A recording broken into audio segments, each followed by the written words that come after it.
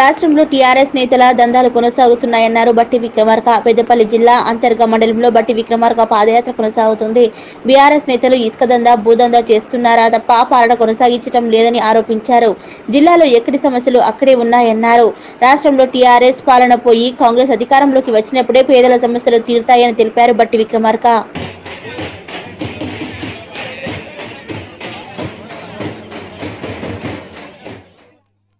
కానీ దురదృష్టం గత తొమ్మిదిన్నర సంవత్సరాలుగా ఈ రాష్ట్రాన్ని పాలన చేస్తున్నటువంటి టీఆర్ఎస్ ప్రభుత్వం లక్షల కోట్లు ఖర్చు పెట్టింది ఇరిగేషన్ శాఖ పేరు మీద చెప్పి. కానీ ఈ రెండు మండలాలకి నీళ్ళు ఇచ్చేటువంటి ఈ ప్రాజెక్టు మాత్రం ముందుకు తీసుకుని వెళ్ళట్లేదు. రెండు మండలాలకి సాగునీళ్ళు కానీ తాగునీళ్ళు కానీ ఇచ్చేటువంటి పరిస్థితి లేకుండా చేసినటువంటి ఈ శాసనసభ్యుడు పైన తప్పనిసరిగా రెండు మండలాల ప్రజానికం పూర్తి స్థాయిలో నిలబెట్టి అడగాల్సినటువంటి అవసరం ఉందని కూడా నేను భావిస్తా ఉన్నాను ఒక ప్రజాప్రతినిధి ఎప్పుడైనా నలుగురు చేత నాలుగు ఓట్లు వేయించుకుంటే ఆ ప్రజల అవసరాలు తీర్చడం కోసం తప్పించాలి. కానీ మీ ప్రాంత శాసనసభ్యుడికి ప్రజా అవసరాలు తీరుద్దాం అనేటువంటి ఆలోచన కంటే ఈ నియోజకవర్గంలో ఉన్నటువంటి ఎన్టీపీసీలో దొరికే ఫ్లై షాట్ దొరుకుతుంది లేకపోతే ఇసుక దొరుకుతుంది? ఆ ఇసుకను ఎట్లా అమ్ముకోవాలి? లేకపోతే బూడిదని ఎట్లా అమ్ముకోవాలి? ఈ బూడిదని ఇసుకని అమ్ముకుంటుంటే ఎవరైనా ప్రశ్నిస్తే వాళ్ళపైన కేసులు ఎట్లా పెట్టాలనేటువంటి ఆలోచన తప్ప గెలిపించారు కదా పాప ఈ ప్రజలు. వీళ్ళకి ఏమైనా చేద్దాం అనేటువంటి ఆలోచన సోయి లేనటువంటి ఇటువంటి శాసనసభ్యులు ఎన్నికైతే ఇదో ఇట్లాగే ఈ ప్రాంతాలు వెనకబడి ఉంటాయి.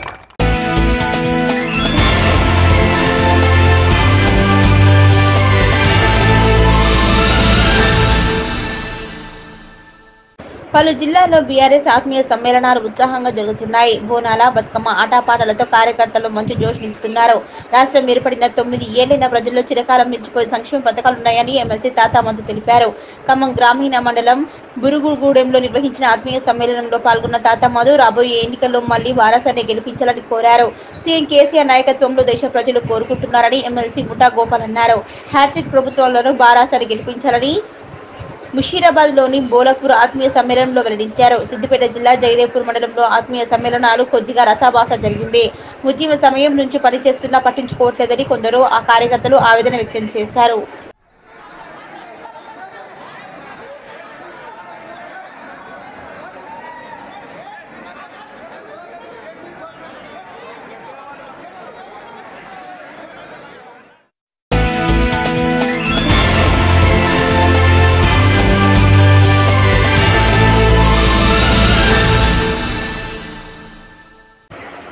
దేశంలో గత ఇరవై నాలుగు గంటల్లో తొమ్మిది వేల ఒక వంద పదకొండు కోవిడ్ నైన్టీన్ కేసులు ఇరవై ఏడు మరణాలు నమోదయ్యాయి.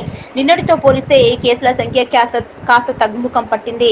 తాజాగా నమోదైన కరోనా కేసులతో కలిపి ప్రస్తుతం యాక్టివ్ కేసుల సంఖ్య అరవై వేల మార్కులు దాటేసింది. ఇప్పటి వరకు మొత్తం అరవై వేల మూడు వందల పదమూడు కేసులు నమోదయ్యాయని కేంద్ర ఆరోగ్య మంత్రిత్వ శాఖ తెలిపింది. దీంతో దేశం మొత్తం యాక్టివ్ కేసుల సంఖ్య ఇన్ఫెక్షన్లలో సున్నా పాయింట్ ఒకటి మూడు శాతం రికార్డు కాగా రోజువారీ పాజిటివిటీ రేటు ఎనిమిది పాయింట్ నాలుగు సున్నా శాతానికి చేరుకుంది.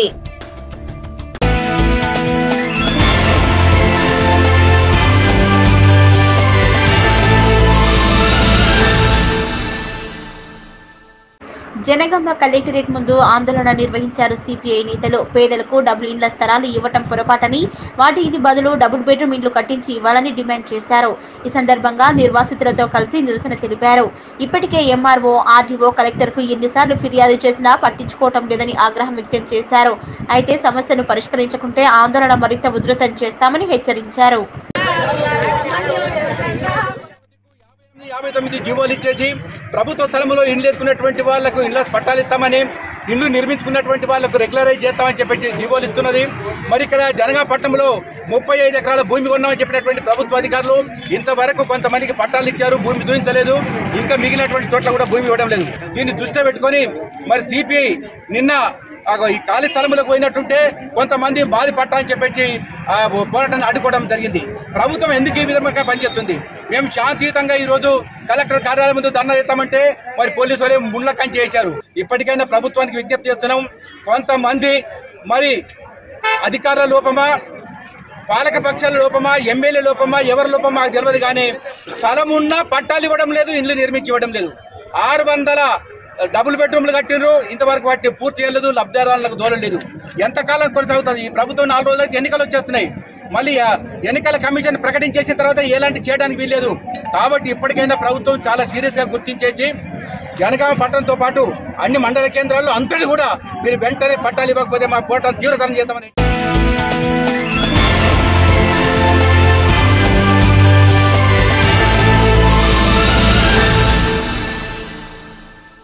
ఐఐటి హైదరాబాద్ కీర్తి సిగలో మరో కైకితురాయి చేరింది. డిఆర్డీఓ సెంటర్ ఆఫ్ ఎక్సలెన్స్లలో దేశంలోనే అతిపెద్ద పరిశోధనా కేంద్రాన్ని ఇక్కడ స్థాపించింది.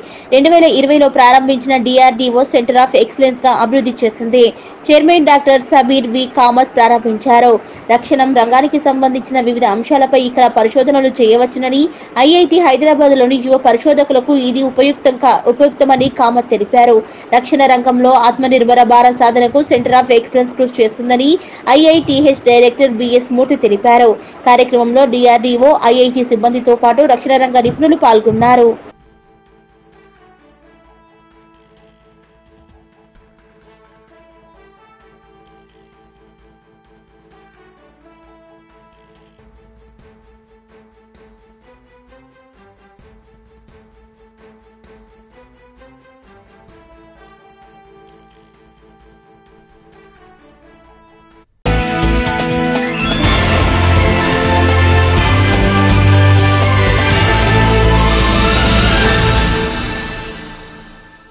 కర్ణాటక మాజీ ముఖ్యమంత్రి భారతీయ జనతా పార్టీ సీనియర్ నేత జగదీష్ షెట్టార్ కాంగ్రెస్ పార్టీలో చేరారు. ఏఐసిసి అధ్యక్షుడు మల్లికార్జున ఖర్గే షెట్టార్కు కండువా కప్పి పార్టీలోకి ఆహ్వానించారు. మాజీ సీఎం సిద్దరామయ్య కేపీసీసీ అధ్యక్షుడు డీకే శివకుమార్ కార్యక్రమంలో పాల్గొన్నారు. కాంగ్రెస్లో చేరిన అనంతరం బీజేపీపై జగదీష్ షెట్టార్ తీవ్ర విమర్శలు చేశారు. తాను కమలం పార్టీని వీడడంపై చాలా మంది విమర్శలు చేస్తున్నారని కానీ బీజేపీ ఎదుగుదలకు తాను ఎంతో కృషి చేశానని షెట్టార్ తెలిపారు. తనకు బీజేపీ కే- భాజపా కేటాయించకపోవడంతో షాకు గురైనన్న షెక్- షెట్టార్ తనతో ఏ నేతకు కనీసం చర్చలు కూడా జరపలేదని ఆవేదన వ్యక్తం చేశారు हमारे को एक सीनियर लीडर हमारे को बीजेपी से अपने स्वाभिमान को जब धक्का हुआ तो वो आ गए हैं तो उनका स्वागत मैं कर रहा हूं और उनके आने से कांग्रेस को बहुत बड़ा फायदा होगा और उनके पीरियड में उन्होंने बहुत, उन्होंने विरोध, यानी अपोजिशन पार्टी के लीडर के रूप में, उन्होंने अपने चीफ मिनिस्टर के रूप में, मिनिस्टर के रूप में, जनता पार्टी के, बीजेपी के अध्यक्ष के रूप में, हर, इसमें उन्होंने काम किया। ऐसे व्यक्ति व्यक्ति जब हमसे जुड़ जाते हैं तो नेचुरली और भी शक्ति हमको मिलती है।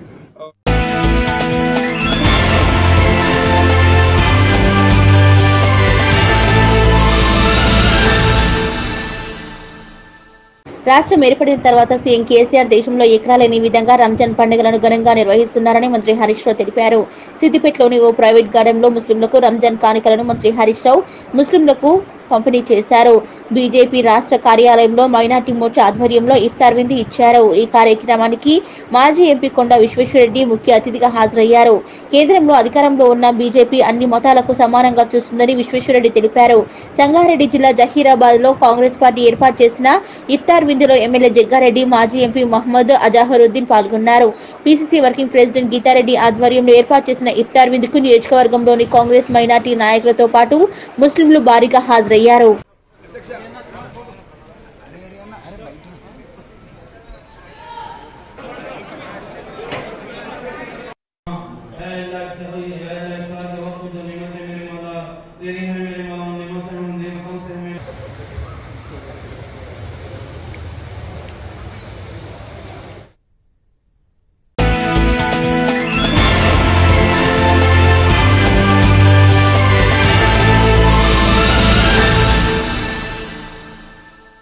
రంగారెడ్డి జిల్లా కొత్తూరు మండలం మల్లాపూర్ గ్రామానికి చెందిన కరుణాకర్ రెడ్డి తన సమీప బంధువు శ్రీధర్ రెడ్డితో కలిసి పని నిమిత్తం వేరే ప్రాంతానికి వెళ్ళి స్వగ్రామానికి తిరిగి వస్తున్నారు.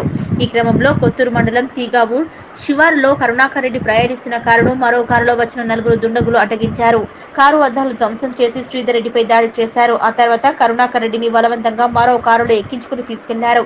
గాయాల పాలైన శ్రీధర్ రెడ్డి కరుణాకర్ రెడ్డి కుటుంబ సభ్యులకు ఫోన్ చేసి విషయం చెప్పాడు. దీంతో కరుణాకర్ రెడ్డి కుటుంబ సభ్యులు కొత్తూరు పోలీస్ స్టేషన్లో ఫిర్యాదు చేశారు. ఓ ప్రజాప్రతినిధి పాత కక్షలతో తన కుమారుడిని కిడ్నాప్ చేశారని కరుణాకర్ రెడ్డి తల్లి స్వరూప ఫిర్యాదులో పేర్కొన్నారు. కుటుంబ సభ్యుల ఫిర్యాదు మేరకు కేసు నమోదు చేసుకున్న పోలీసులు విచారణ చేపట్టారు. అయితే గచ్చిబౌలి కాంటినెంటల్ ఆసుపత్రి సిబ్బంది పోలీసులకు సమాచారం ఇచ్చారు. ఆసుపత్రికి చేరుకున్న పోలీసులు మృతుడు కరుణాకర్ రెడ్డిగా గుర్తించారు. ఆ తర్వాత మృతదేహాన్ని ఉస్మానియా ఆసుపత్రికి తరలించారు. కరుణాకర్ రెడ్డి మరణ వార్త వినగానే ఆయన కుటుంబంలో విషాద ఛాయలు అలుముకున్నాయి. ఏప్రిల్ పదహారవ తేదీన కిడ్నాప్కి గురయ్యాడని ఫిర్యాదు చేశామని అయితే కరుణాకర్ రెడ్డి చనిపోయాడని పోలీసులు ఫోన్ చేశారని కన్నీరు మున్ని అయ్యారు. కొత్తూరు ఎంపీపీ మధుసూదన్ రెడ్డి బామ్మర్దులు పాత కక్షల నేపథ్యంలో కిడ్నాప్ చేసినట్లు హత్య చేశారని కనురాకర్ రెడ్డి కుటుంబ సభ్యులు ఆరోపిస్తున్నారు. శ్రీధర్ రెడ్డి వాళ్ళ మామను దించడానికి వీరిద్దరు తిరిగి వస్తుంటే వీళ్ళు విష్ణువర్ధను ప్లస్ విక్రము ప్లస్ వాళ్ళ బామ్మర్ది ప్లస్ ముస్లిం అబ్బాయి ముగ్గురు నలుగురు కలిసి శ్రీధర్ కొట్టి గ్లాసులు అద్దాలు కారు అద్దాలు వలగొట్టి మన కరుణాకర్ రెడ్డి మా తమ్ముడు కరుణాకర్ రెడ్డిని ఎత్తుకొని పోయారు వీళ్ళు. ఎత్తుకొని పోయి రాత్రి ఏమైంది తెలియదు మాకు. ఇప్పుడు ఏసీ సిఎస్ఆర్ గారు చెప్తారు హాస్పిటల్లో వేసిరని చెప్తారు మధుసూదన్ రెడ్డి వాళ్ళందరూ కలిసి చేసిరని వాళ్ళు చెప్తారు ఎందుకు మీ మధ్య ఏం వివాదం ఏం వివాదం విధానం ఏం లేదు. ఆల్రెడీ వాడు మా వాడు షాంపెంటర్గా పనిచేస్తుండు. వాళ్ళకి ఏంటంటే వాళ్ళ దగ్గర పనిచేసిన రోజులు ఏం లేదు. ఇప్పుడు బయట పని చేసుకుంటున్నారు కాబట్టి బాగుపడుతుంది కాబట్టి ఓరోలేక ఇవన్నీ చేయడం తప్పితే ఏం లేదు. ఆయన వీక్నెస్ పాయింట్ ఏమైనా ఉంటే వీక్నెస్ ఉంటే మరి చెప్పాలని చెప్తాడని చెప్పి బయటకు చెప్తాడని చెప్పి ఈ ఈ ఘనకార్యం చేసిండు ఆయన. మధుసూదన్ రెడ్డి. ఇట్లా ఈ భూ వివాదాలు భూ విధాలు ఏమీ లేవు ఏమీ లేవు. భూ విధాలు కానీ ఎట్లాంటి లావాదేవీలు ఏం లేవు. ఆయన కక్ష కట్టి తప్పితే ఏం లేదు. నా దగ్గరికి వెళ్ళి పోయి ఈడు బాగుపడు నిన్న సిక్స్టీన్త్ రోజు ఒక కిడ్నాప్ కేసు కంప్లైంట్ మనకు రిపోర్ట్ అవ్వడం జరిగింది. ఇది సిక్స్ థర్టీ సాయంకాలం సిక్స్ థర్టీ ప్రాంతంలో చేగూరు రోడ్లో తీగాపూర్ అనే విలేజ్ దగ్గర విలేజ్ రోడ్లో డిసీజ్డ్ కరుణాకర్ రెడ్డి తర్వాత శ్రీధర్ రెడ్డి వాళ్ళ వెహికల్స్లో వస్తుంటే మల్లపూర్ నేటివ్స్ వీళ్ళు. వెహికల్లో వస్తుంటే ఒక ఆపోజిట్ స్కార్పియో వెహికల్ వచ్చి దాంట్లో అదే సేమ్ విలేజ్ పర్సన్స్ బండిని ఆపి వాళ్ళ కారు అద్దాలు డ్యామేజ్ చేసి వాళ్ళంతా పర్చేస్లే వాళ్ళను కట్టెలతో కొట్టి ఒక పర్సన్ అందులో కరుణాకర్ రెడ్డి అంటే ఆయన వీళ్ళ వెహికల్లో. ఈ విష్ణువర్ధన్ రెడ్డి తర్వాత విక్రమ్ రెడ్డి ఈ mandal president MPP Madhusur Reddy వాళ్ళు బ్రదర్స్ వీళ్ళు. వాళ్ళు ఆయనను కరుణాకర్ రెడ్డి కూడా వాళ్ళ అనుచరుడే. ఆయనను వీళ్ళ బండ్లు తీసుకొని తీసుకొని పోవడం జరిగింది కొట్టుకుంటూ సో ఆ విషయం మనకు శ్రీధర్ రెడ్డి ఆయన కొంచెం భయంలో ఉండి కొంచెం డిలేగా మన కంప్లైంట్ అంటే ఫోన్లో వాళ్ళ విలేజ్ చెప్తే విలేజ్ వాళ్ళు మాకు చెప్పడం జరిగింది. అప్పటికి మేము six thirty seven o'clock కల్లా మేము అంతా టీమ్స్ ఒక రెండు టీమ్స్ చేసి ప్రయాణం ప్రయత్నం చేసినాము. అప్పటికి ఎవరైతే తీసుకుపోయారో వాళ్ళ ఫోన్లని స్విచ్ ఆఫ్ ఉండి తీసుకుపోయారు. వెహికల్లో తిరుగుతూ ఉన్నారు. మేము కూడా టీమ్స్ తిరుగుతూ ఉన్న క్రమంలో మనకు అరౌండ్ నైన్ నైన్ ఫిఫ్టీన్ టైంలో నైట్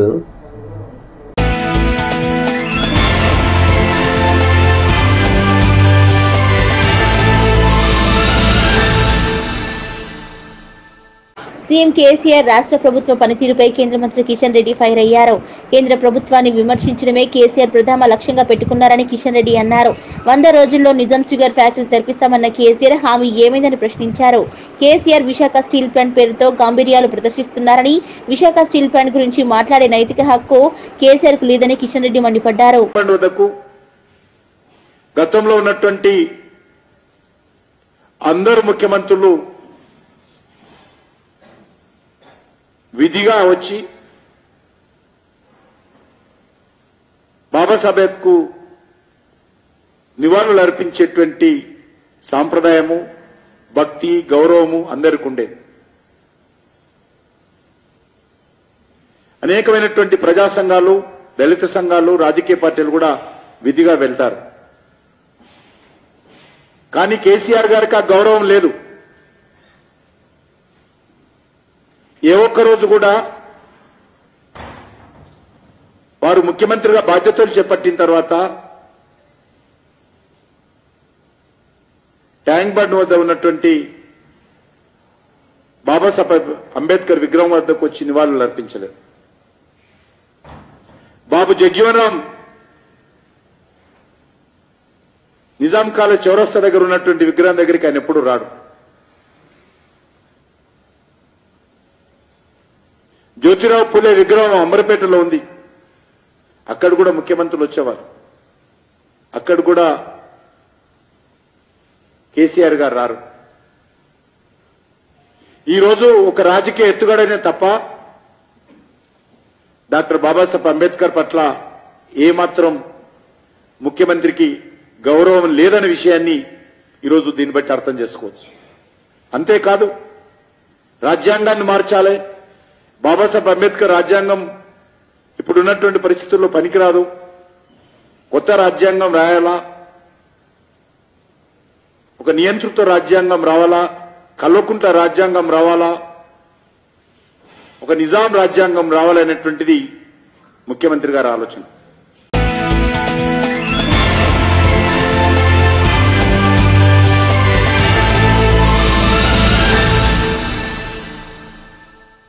పేద మధ్యతరగతి కుటుంబాలకు కంటి వెలుగు పథకం ఓ వరం లాంటిదని కొల్చారం మండలం ఎనగన్న సర్పంచ్ దమ్మన్న గారి వీరారెడ్డి ఎంపీపీ మంజుల కాశీనాథ్లు అన్నారు. కొల్చారం మండలం ఎనగండ గ్రామంలో రెండో విడత కంటి వెలుగు కార్యక్రమాన్ని సర్పంచ్ వీరారెడ్డి ఎంపీపీ మంజుల కాశీనాథ్లు లాంఛనంగా ప్రారంభించారు. అనంతరం కంటి వెలుగు పరికరాలను పరిశీలించి సర్పంచ్ వీరారెడ్డి ఎంపీపీ మంజుల కాశీనాథ్ కంటి పరీక్షలు చేయించుకున్నారు. ఈ సందర్భంగా వారు మాట్లాడుతూ కంటి వెలుగు దేశానికి ఆదర్శమని అన్నారు. ఈ సందర్భంగా ముఖ్యమంత్రి కేసీఆర్కు ఎమ్మెల్యే మదన్ రెడ్డికి మహిళా కమిషన్ చైర్మన్ సుంతారెడ్డిలకు వీరారెడ్డి మంజులలు ప్రత్యేక కృతజ్ఞతలు తెలిపారు. తెలంగాణ ప్రభుత్వం ప్రతిష్టాత్మకంగా చేపట్టిన కంటి వెలుగు కార్యక్రమాన్ని గ్రామ ప్రజలందరూ సద్వినియోగపరచుకొని కంటి సమస్యలు పరిష్కరించుకోవాలన్నారు. ఈ కార్యక్రమంలో పంచాయతీ కార్యదర్శులు శ్రీనివాస్ నగేష్ గ్రామ ఉప సర్పంచ్ సుమలత బాబు రంగంపేట ప్రాథమిక ఆరోగ్య కేంద్రం సూపరింటెండెంట్ సుదర్శన్ ఆరోగ్య సిబ్బంది సుల్తానా వార్డు సభ్యులు ఆరోగ్య సిబ్బంది పాల్గొన్నారు. ముందుగా అందరికి నమస్కారం. మరి మీడియా మిత్రులకు మరి ఈ కంటి వెలుగు ప్రోగ్రాంకు ముఖ్య అతిథిగా వచ్చేసినట్టు ఎంపీపీ మంజుల కాశీనాథ్ గారికి ఉప సర్పంచ్ సుమలత బాబు గారికి మరియు పంచాయత్ సెక్రటరీ శ్రీనివాస్ సార్ గారికి మరియు సుదర్శన్ సార్ గారికి మరియు గ్రామ ప్రజలకు ఎనగండ్ల గ్రామ ప్రజలకు మరి మీడియా మిత్రులకు అందరికీ నా ప్రత్యేక అభినందనలు. ఈరోజు మన రాష్ట్ర ప్రభుత్వము ఏర్పాటు చేసినట్టు కంటి వెలుగు కార్యక్రమం చాలా విజయవంతంగా నడుస్తున్నది. మళ్ళీ ఈరోజు మా ఎన్గల గ్రామంలో ప్రారంభం కానుంది మరి ఈ కార్యక్రమానికి మరి గ్రామ ప్రజలు అతి పెద్ద సంఖ్యలో పాల్గొని మళ్ళీ కంటి వెలుగు ప్రోగ్రాంను విజయవంతం చేయగలని కోరుచున్నాను. మరి ఈ ప్రోగ్రాంను మన రాష్ట్ర ప్రభుత్వము ప్రశాత్ ప్రతిష్టాత్మకంగా తీసుకుంది. ఎందుకంటే గ్రామాల్లో ఊళ్ళల్లో మరి తెలియకుండా అవ్వాతాతలకు కానీ మరి బయటకు పోయి చూయించుకోవాలంటే ఇబ్బంది అవుతుంది కాబట్టి మరి విలేజ్లను మన గ్రామ పంచాయతీల్లోనూ గ్రామాల్లోనూ మరి ఈ కార్యక్రమం ఏర్పాటు చేసినందుకు మరి సీఎం కేసీఆర్ గారికి నేను ప్రత్యేక కృతజ్ఞతలు తెలుపుకుంటున్నాను. వాళ్ళకు సౌకర్యంగా ఉంటుందని చెప్పేసి వాళ్ళు హైదరాబాదు సంగారెడ్డో లేకపోతే బయట బయట విలేజ్ బయట టౌన్లో చూ చూపించుకోవాలంటే ఇబ్బంది అవుతుందని చెప్పేసి నేరుగా గ్రామాల్లోకి తీసుకొచ్చినందుకు మరొకసారి రాష్ట్ర ప్రభుత్వానికి నేను కృతజ్ఞతలు తెలుపుకుంటూ మరి ఈ కార్యక్రమాన్ని మళ్ళీ యువకులు కానీ గ్రామ ప్రజలు కానీ గ్రామ పెద్దలు కానీ అందరూ సహకరించి మరి ముందుకు తీసుకుపోవాలని కోరుకుంటూ మరి ముగిస్తున్నాను. ఎనగండ్ల గ్రామంలో కంటి వెలుగు కార్యక్రమం రెండో విడత కార్య కంటి వెలుగు కార్యక్రమాన్ని నిర్వహించుకోవడం జరుగుతుంది కాబట్టి అన్ని గ్రామ పంచాయతీలో కూడా హండ్రెడ్ పర్సెంట్ మంచిగా విజయవంతం చేసుకున్నాము. అలాగే ఎనగండ్లలో కూడా విజయవంతం చేసుకొని ప్రతి ఒక్కరు ఎవ్వరు కూడా చూపించుకోకుండా పద్దెనిమిది సంవత్సరాలు పైబడిన వారు ప్రతి ఒక్కరు వినియోగించుకొని వారికి దూరం చూపు దగ్గర చూపు అని టెస్ట్ చేయించుకొని మళ్ళీ ఒకవేళ సర్జరీ ఆపరేషన్ ఏమన్నా అవసరం ఉంటే కూడా వాళ్ళు మన ఎల్బి ప్రసాద్ హాస్పిటల్కు రిఫర్ చేయడం జరుగుతుంది. అలాంటి సమస్య ఉండి కూడా కొందరు కంటి సమస్య ఉండి కూడా కొందరు చూపించుకోలేకపోతున్నారు ఎందుకంటే వాళ్ళకు డబ్బు లేక లేదా తీసుకెళ్ళే వాళ్ళు లేక అలాంటి సమస్యలతోనే చాలామంది పెద్దవాళ్ళు తల్లి కొడుకులు సరిగా చూసుకోకను వాళ్ళు కేర్ చేయకను అట్లాంటి ఇబ్బందుల్లో ఉంటురు చూపించుకోలేకపోతురు అనే ఒక ఉద్దేశంతో మన రాష్ట్ర ప్రభుత్వం ప్రవేశపెట్టిన ఈ కంటి వెలుగు కార్యక్రమము మన పెద్దలకు అందరికీ ఎంతోమంది జీవితాల్లో వెలుగులు నింపుతుంది కాబట్టి ఈ ప్రోగ్రామ్ను అందరం కలిసికట్టుగా ఉండి విజయవంతం చేసుకుంటూ మన రాష్ట్ర ప్రభుత్వానికి వెళ్ళవేళలా రుణపడి ఉండాలని చెప్పేసి కోరుకుంటూ ధన్యవాదాలు.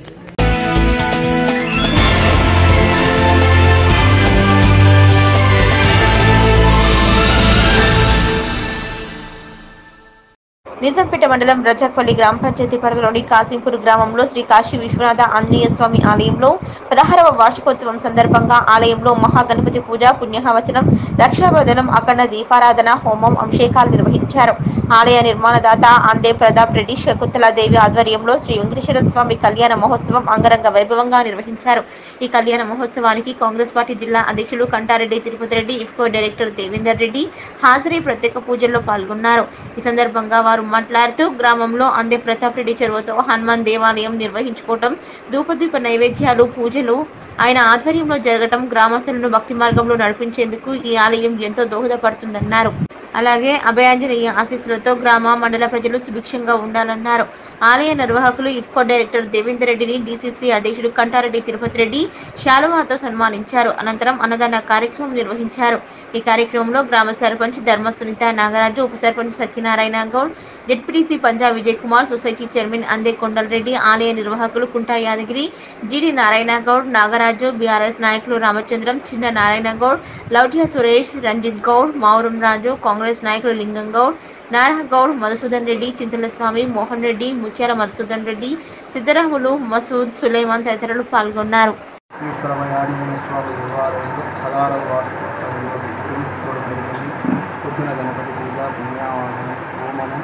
అభిషేకాలు మరియు వెంకటేశ్వర స్వామి అదేవిధంగా మహావత్సవం కళ్యాణం గారు, ఇంకా చేసుకోవడం జరిగింది. దానికి ముఖ్య అతిథిగా అంది ప్రతాపరెడ్డి గారు శకుంతలాదేవి గారు గ్రామ ప్రజలు అందరూ సహకరించారు వారి ఆశీర్వాదాలు గ్రామ ప్రజలకు. అలాగే మన అంద ప్రతాపరెడ్డి గారు శకుంతలాదేవికి రాష్ట్రానికి ఉండాలని ఆ దేవి ఆశిస్తూ ఉంటారు. శుభం. జాంపేట మండలం రజాక్పల్లి గ్రామంలో కాసింపూర్ గ్రామంలో అభయాంజనేయ స్వామి వారి పదహారవ వార్షికోత్సవం జరుగుతూ ఉంది. ఫౌండర్ అయినటువంటి అందే ప్రతాప్ రెడ్డి శకుంతల గారి ఆధ్వర్యంలో గుడి ఫౌండరు అందే ప్రతాప్ రెడ్డి గారు ఆయన ఆధ్వర్యంలో ఈ రోజు ఇక్కడ ఈ పూజా కార్యక్రమాలు కూడా నిర్వహించడం జరిగింది. ఈ చిన్న గ్రామంలో అయినా చిన్న పల్లెటూరులో అయినా ప్రతాప్ రెడ్డి గారి చొరవతో ఇవాళ ఈ గ్రామంలో ఈ గుడి నిర్మించి రోజు దీపదీప నైవేద్యాలు ఆయన ఆధ్వర్యంలో జరగడం ఇక్కడ ఉన్న ప్రజలను భక్తి మార్గంలో మళ్ళించడానికి ఇది ఎంతగానో దోహదపడుతుంది. నిజంగా మా ఏరియాలో పుట్టిన ప్రత- ప్రతాప్ రెడ్డి గారికి మా ఏరియాలో ఉన్న ప్రజలందరం కూడా ఎప్పటికీ రుణపడి ఉంటాం. ఆయన ఇదే కాకుండా ఎన్నో సేవా కార్యక్రమాలు కూడా చేయడం జరిగింది. ప్రతాప్ రెడ్డి గారు నిర్మించిన ఈ గుడి లాగానే వేరే గ్రామాలలో కూడా దాతలు ముందుకొచ్చి ఇలాంటి గుళ్ళు నిర్మించి ప్రజలందరినీ భక్త పార్వశ్యంలో నడిపించే విధంగా తీసుకోవాల్సిన అవసరం ఎంతైనా ఉంది. ఇలాంటి గుళ్ళకు డ్రైన్ రావడం వల్ల పూజా పునస్కారాలు చేయడం వల్ల ఆత్మశరంతో పాటు ఆత్మసంతృప్తి కూడా పెరుగుతుంది. నిజంగా ఈ గ్రామంలో ఇంత పెద్ద ఎత్తున ఈ గ్రామంలో పుట్టి పెరిగినందుకు ప్రతాప్ రెడ్డి గారు ఈ గ్రామం రుణం తీసుకున్నందుకు ఈ గ్రామ ప్రజల తరఫున మా కలవకుడ గ్రామంలో కూడా చదువుకుండు కాబట్టి మా కలవకుడ గ్రామ పక్షాన్ని కూడా ప్రతాప్ రెడ్డి గారికి ప్రత్యేక కృతజ్ఞతలు కృతజ్ఞతలు.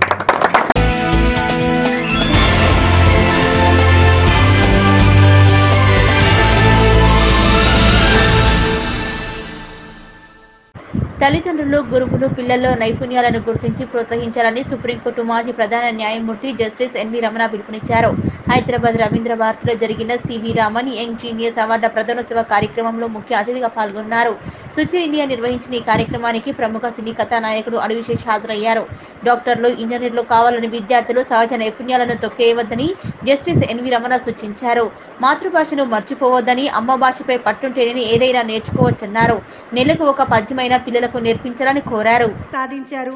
ఏం సాధించారు అనేటటువంటి విషయాలన్నింటినీ కూడా ఇందులో పొందుపరచడం జరిగింది. తల్లిదండ్రులకు కూడా ఒక విషయం చెప్పదలుచుకున్నాను మనం పుట్టిన బిడ్డ పుట్టిన దగ్గర నుంచి కూడా మనం ఏం ఆలోచిస్తున్నామంటే మా అబ్బాయి మంచి ర్యాంక్ తెచ్చుకోవాలా గోల్డ్ మెడల్ తెచ్చుకోవాలా ఎంట్రన్స్ బాగా రాయాలా ఇంజనీరింగ్ మెడిసిన్ చదవాలా అమెరికా పోవాలా డాలర్లు సంపాదించుకోవాలా ఇదే యాటిట్యూడ్ అంటే ఈ రకమైనటువంటి ధోరణి ఎక్కువగా తల్లిదండ్రుల్లో కనిపిస్తుంది. ప్రతి ఒక్క విద్యార్థి గోల్డ్ మెడల్ తెచ్చుకోడు. ప్రతి ఒక్క విద్యార్థి హండ్రెడ్కి హండ్రెడ్ మార్క్స్ తెచ్చుకోలేడు. ప్రతి ఒక్క విద్యార్థి డాక్టర్ కాలేడు. ఆ యొక్క విద్యార్థి యొక్క అభిరుచిని బట్టి ఆ విద్యార్థి యొక్క శక్తి సామర్థ్యాలను బట్టి మేధస్సును బట్టి తెలివితేటలను బట్టి అతనికి ఇష్టమైనటువంటి రంగం ఏంటో దాంట్లో అతను పైకి వచ్చే విధంగా తీర్చిదిద్దండి. నా లైఫ్ని నేను చూసుకుంటే నేను ఒక్కడే చెప్పగలను. Don't be afraid to dream చిన్నప్పుడు నేను చాలా ఇంట్రోవర్టెడ్గా ఉండేవాడిని. నాకు యాక్టింగ్ చేయాలని ఉంది పేరెంట్స్ పేరెంట్స్తో చెప్తే నాన్నకి నేను డాక్టర్ అవ్వాలని అమ్మకి నేను ఇంజనీర్ అవ్వాలని ఉంది అలాంటి పేరెంట్స్కి నేను యాక్టింగ్ చేయాలని చెప్తే ఏమనుకుంటారో ఏం తిడతారో అనుకునేవాడిని. ఫైనల్గా ధైర్యం చేసి చెప్పాను ఈ రోజున I'm standing in front of you ఈ సోషల్ మీడియా జమానాలో మనం పాపులర్ అయిన తర్వాత యాక్టర్లు అవుతాం. మన రెజ్యూమే బాగుంటే జాబ్లు వచ్చేస్తాయి. ఇలాంటి ఆలోచనలు వచ్చాయి. అది కరెక్ట్ కాదు. The most important thing is hard work మీరు హార్డ్ వర్క్ చేస్తే మీకు సక్సెస్ వస్తుంది. మీరు హార్డ్ వర్క్ చేస్తే డాక్టర్స్ అవుతారు హార్డ్ వర్క్ చేస్తే యాక్టర్స్ అవుతారు హార్డ్ వర్క్ చేస్తే చీఫ్ జస్టిసెస్ కూడా అవుతారు. I believe in myself you believe in yourself మిమ్మల్ని మీరు నమ్ముకుంటే మీరు ఎక్కడికైనా చేరుకోగలరు. గుర్తుపెట్టుకోండి.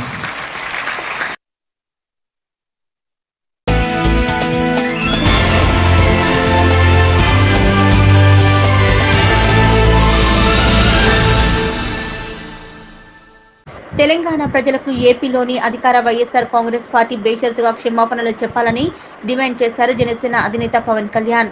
తెలంగాణ మంత్రి హరీష్ రావు ఏపీకి సంబంధించి చేసిన వ్యాఖ్యలకు కౌంటర్గా ఏపీ మంత్రులు చేస్తున్న వ్యాఖ్యలు కౌంటర్లు హద్దులు దాటుతున్నాయన్నారు పవన్. విమర్శలు ప్రతి విమర్శలు పరిధి దాటకూడదన్న పవన్ కళ్యాణ్ ఈ మేరకు ట్విట్టర్లో వీడియో రిలీజ్ చేశారు. అందరికీ నా హృదయపూర్వక నమస్కారాలు. గత రెండు మూడు రోజులుగా తెలంగాణ మంత్రి ఒకరు ఆంధ్రప్రదేశ్కి సంబంధించిన వ్యాఖ్యలు చేయడం దానికి ప్రతిస్పందనగా వైసీపీ నాయకులు దానికి స్పందించడం. ఈ స్పందన ప్రతిస్పందన విమర్శకు ప్రతి విమర్శ ఈ క్రమంలో హద్దులు దాటి మాట్లాడటం కొంచెం ఇబ్బందికరంగా మారింది అందరికీ. గతంలో కూడా తెలంగాణ నాయకులకు నేను జనసేన పార్టీ ముందు నుంచి చెప్పేది కూడా ఏంటంటే పాలకులు వేరు ప్రజలు వేరు. పాలకులు చేసిన వ్యాఖ్యలకి ప్రజలతో ప్రజలకు సంబంధం లేదు. అది తెలంగాణ నాయకులైనా ఆంధ్ర నాయకులు ఎవరైనా సరే జనసేన ముందు నుంచి చెప్పేది కూడా పాలకుల వ్యాఖ్యలకి ప్రజలకి దాన్ని వర్తి వర్తింప చేయకుండా చూడాలండి. ఈ క్రమంలో మన ఈ మధ్యన మంత్రి హరీష్ రావు గారు మాట్లాడిన వ్యాఖ్యలు ఆయన ఏ కాంటెక్స్లో చేశారో అది ఇవన్నీ అది వేరే ఇది. కానీ దానికి స్పందిస్తూ ప్రతి విమర్శ చేస్తూ వైసీపీ మంత్రులు కానీ వైసీపీ నాయకులు కానీ తెలంగాణ ప్రజలను తిట్టడం తెలంగాణ ప్రాంతాన్ని విమర్శించడం తెలంగాణ ఆత్మగౌరవాన్ని దెబ్బతీసేలా మాట్లాడటం నాకు వ్యక్తిగతంగా చాలా మనస్తాపం కలిగించింది. దయచేసి వైసీపీ నాయకులందరికీ విన్నపం కొంచెం నోరు అందరూ కూడా కొంచెం హద్దులో పెట్టుకోండి. మీరు తిట్టాలి అనుకుంటే ఆ వ్యాఖ్యలు కించపరిచేలాగా మీకు ఉన్నాయనుకున్నప్పుడు ఆ సదరు మంత్రిని కానీ వ్యక్తిని కానీ అనండి. దీంట్లోకి ఇలాంటి వివాదాల్లోకి తెలంగాణ ప్రజానీకాన్ని దయచేసి లాక్కండి. అది ఆంధ్ర కావచ్చు తెలంగాణ కావచ్చు. ప్రజల్ని పాలకుల నుంచి వేరు చేయమని నేను కోరుకుంటున్నాను. ముఖ్యంగా వైసీపీ సీనియర్ నాయకులు కూడా మీరు దీన్ని స్పందించాలి. ఒక జాతి జాతిని తిడుతున్నప్పుడు మీరందరూ ఏం చేస్తారు? మీ అందరికి ఇక్కడ వ్యాపారాలు లేవా? మీ అందరికి తెలంగాణలో? మీ అందరికి ఇల్లు లేవా? వాకిళ్ళు లేవా? మీ అందరికి తెలంగాణలో వ్యాపారాలు లేవా? బొత్సగారు లాంటి వాళ్ళు ఇక్కడంతా కేబుల్ వ్యాపారాలు చేసిన వాళ్ళు కదా ఒకప్పుడు. ఇప్పటికి ఉన్నాయో నాకు తెలియదు కానీ. దయచేసి మీరు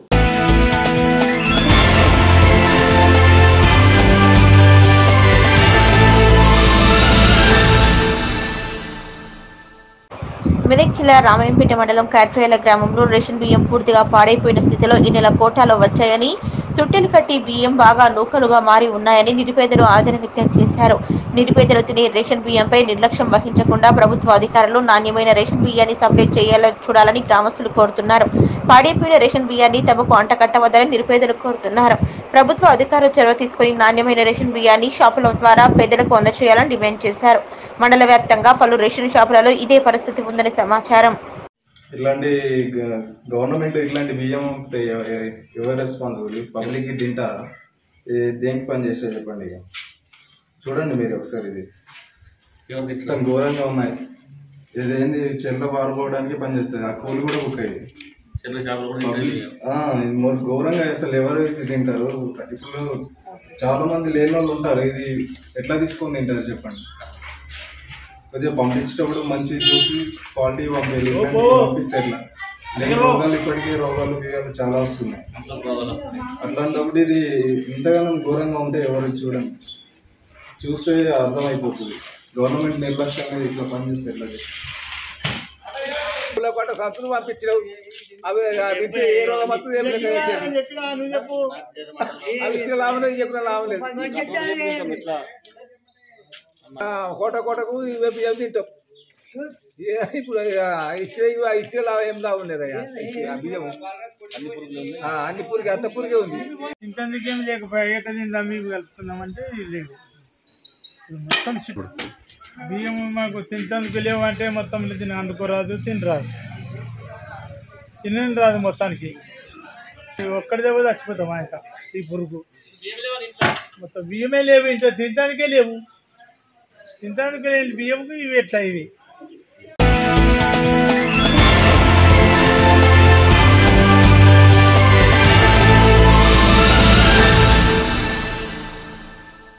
ఎస్ఐ కానిస్టేబుల్ నియామక పరీక్షలు ముగుస్తున్న క్రమంలో తుది ఫలితాలు విడుదలకు పోలీస్ నియామక మండలి కసరత్తు ప్రారంభించింది. జూన్ మొదటి వారంలో తుది ఫలితాలిచ్చి అనంతరం అభ్యంతరాల నమోదుకు అవకాశం ఇవ్వాలని భావిస్తోంది. ఇప్పటికే టీఎస్పీఎస్సీ పది పరీక్షల్లో అక్రమాలు బహిర్గతం కావడంతో పరీక్షా పత్రాల మూల్యాంకనానికి పకడ్బందీ చర్యలు చేపడుతుంది. ఎంపికైన అభ్యర్థుల ధృవీకరణ పత్రాలు జూన్లో పరిశీలించనున్నారు. ఈ మేరకు జిల్లా కేంద్రాల్లో దరఖాస్తు పరిశీలన వేదికలు ఏర్పాటు చేయాలని భావిస్తున్నారు. దరఖాస్తుల పరిశీలన అనంతరం వారి నేర చరిత్ర గురించి ఆరా తీయనున్నారు. ఈ ప్రక్రియలన్నీ పూర్తయ్యాక ఎంపికైన అభ్యర్థుల జాబితా వెలువడనుంది.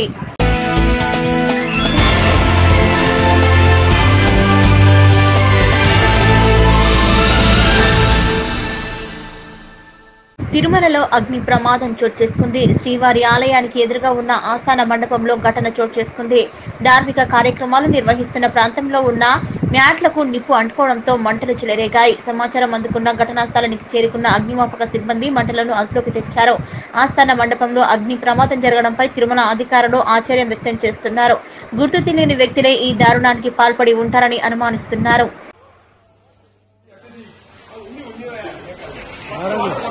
వాటర్ కొట్ట వెళ్ళిపోతుంది అదేముంది వదిలేక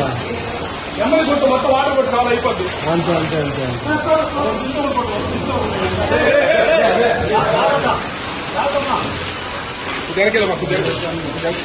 పదండి పదండి